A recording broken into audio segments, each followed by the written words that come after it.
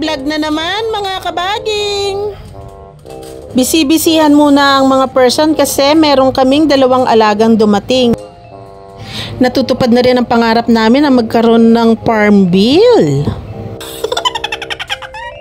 At para maging maayos, kinailangan muna naming putulin yung isang sangang makakaharang dun sa gagawin naming kulungan. At syempre, nagtuturo na naman si boss. Sige ka, baka ka manuno. Kasabihan pa naman sa bukid na huwag kang turo ng turo, baka ikay manuno. Ito nga palang lugar na ito ay gagawin naman naming kulungan ng aming bagong alaga. At tinalian na nga nila ng lubid at hihila-hilahin nila. Sinabihan ko nga ang aking asawa diyan na kung sakasakaling babagsak ang puno ay aking ibablog. At tulad nga ng aking hula, hindi ko nga na-vlog ang kanilang hinihilang puno. Nalimutan na akong sabihan. Kung hindi nga la ang Valentine's Day ngayon, malamang naghalo ng balat sa tinalupan. Kaya naisip ko tumigil na lamang at baka hindi ako pakainin ng kanyang itlog na binalot ngayong February 14. Kaya naman prinito ko na ang aking paboritong galunggong. At akin na ring hinimay ang kangkong na nakuha namin sa lake. Masarap yan, ia-adobo ko yan. Kaya prinito ko na rin ang tokwa na panlahok natin sa ating adobong kangkong. Hindi talaga mawala sa isip ko na kung nagalit ako kanina dahil lang sa hindi ko nakuhanan ng video yung paglaglag ng puno, eh makakain kaya ako ng itlog mamaya. Mga mare, paborito ko pa naman ng itlog lalo na yung amoy bugok-bugok na.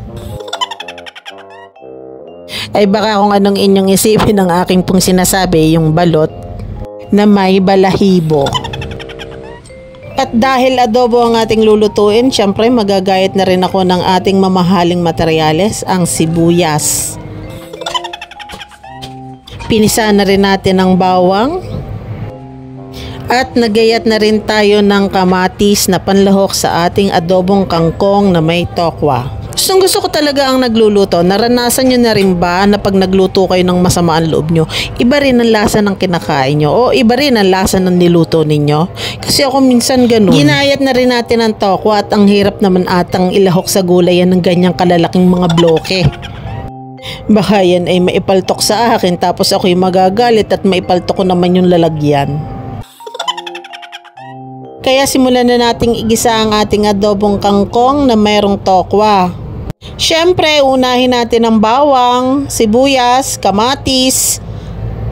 At pagkatapos ko namang maigisa ang sibuyas, bawang at kamatis, inilahok ko na ang ating tokwa.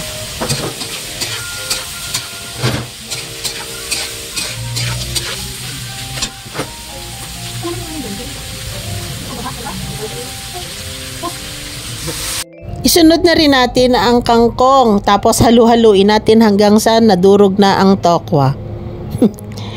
Actually, dapat hindi pa madudurog ang tokwa kaya lang eh, nadurog na eh. Minsan talaga may pagkaulagala ang ako.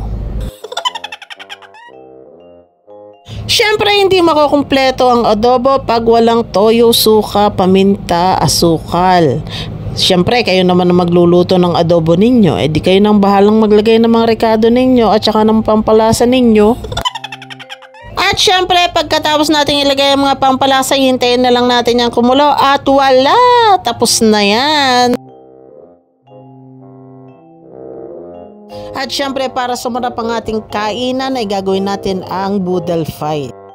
Bakit parang mas mahaba pa ata ang pagbablog ko dito sa pagluluto at kainan kaysa dun sa ginagawa nila?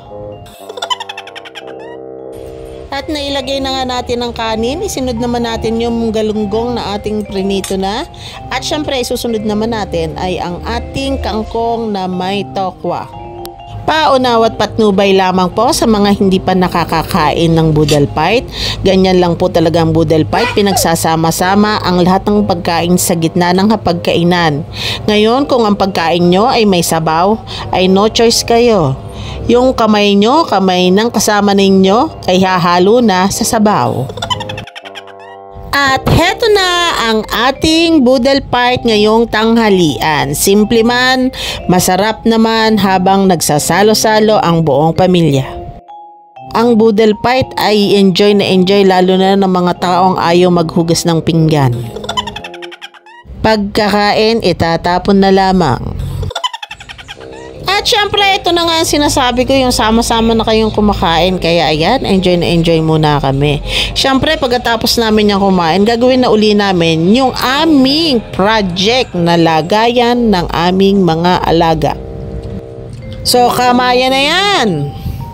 Bakit pag boodle fight, napapalakas ang kain ko? Kayo din ba mga mare at pare? Yung kahit simple lang ang ulam pero parang sarap na sarap pa rin kayo.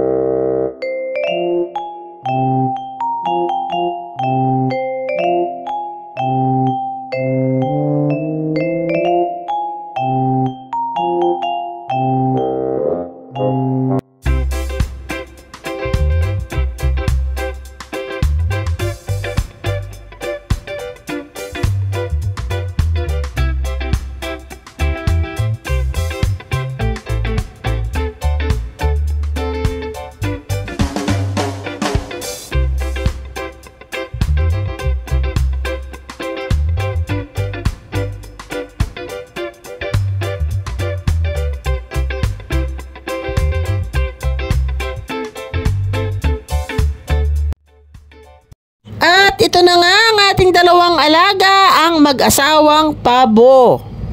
Na kanina lamang ay pinagwawalaan ni Chokoy kasi gustong gusto na niyang makagat ang leeg. Yan, shoutout kay madam. Kay madam natin binili yung pabo. Yan. Madam, saan nga kaya? Taga bagong bayan po. Yan, sa mga magpapalinis, magpapagawa ng aircon, yan sila. Hello po. Uh, sabi na. Bagong bayan po, Doña Maria San Pablo City. Yan, cellphone number. Ah, 091 0935 623318 62 33168 0935 623318 Ayun. At ito na nga, ilalagay na nila ang net. Dito naman, mainit naman kaagad ang ulo ni Boss Bobim. Kasi naman, yun daw kanyang binilhan, niloko siya. Ang sabi daw sa kanya, 5 feet ang taas. Pero ang kanyang sinukat ay 3 feet lang. Sabi ko nga, baka naman nga 3 feet lang at maliit lang naman yung kanyang binilhan. Sabi naman niya, kanya na lang daw hihilatin at baka naman daw aabot pa ng 5 feet. Siya din naman ang gumawa ng paraan. Siguro, siguro pwede natin ikapot ganun ganun. Oo.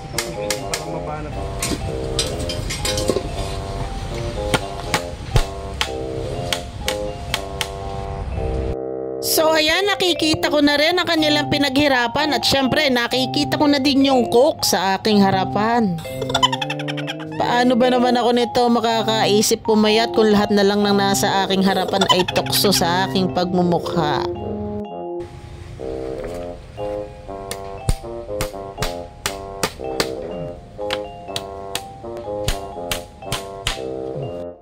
Ayan na nga, natapos na ang ating kulungan kaya ipapasok na natin ang mag-asawang pabo at sana ang hiling ko lamang ay dumami sila. Hindi pa man din nakakapangitlog ang aming mga pabo ay napapaisip na si Boss Bobim na ah, ah, parang ang sarap katayin, masarap na pampulutan. Hindi na makatiis ng panggigigil pero sabi ko hintay naman nating magkaroon ng itlog at nang dumami bago ka mag-isip na ipampulutan sila. Hindi pa man din nagiinit ang paa ng mga pabo dyan sa ating ginawang bagong kulungan ay papatayin na.